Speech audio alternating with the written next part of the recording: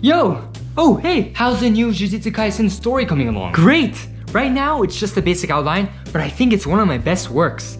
Everyone will really enjoy this one. Can I read it? Of course! Dude, you have no idea how much I love these.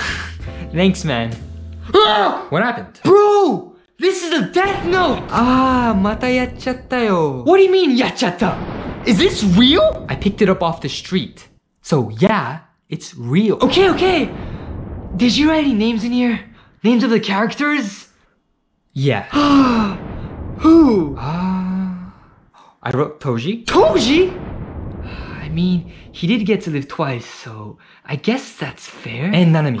Nanamin? You wrote Nanamin? Ah, I was planning on him going to Malaysia soon. he better cancel his flight tickets before it's too late, am I right? Bro, I'm gonna nail you to that wall right now. Don't speak about Nanamin that way. Nail. Ah!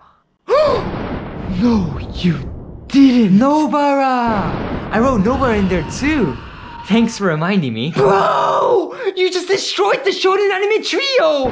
That's one of the fundamental laws of anime you can't break! My bad. What's the point of having side characters if it's just the main character that keeps on dying? Nanamin, Nobara. Who are you gonna kill next? Gojo? No. Huh. That's actually not a bad. No! Why are you even thinking that? I'm leaving. Where are you going?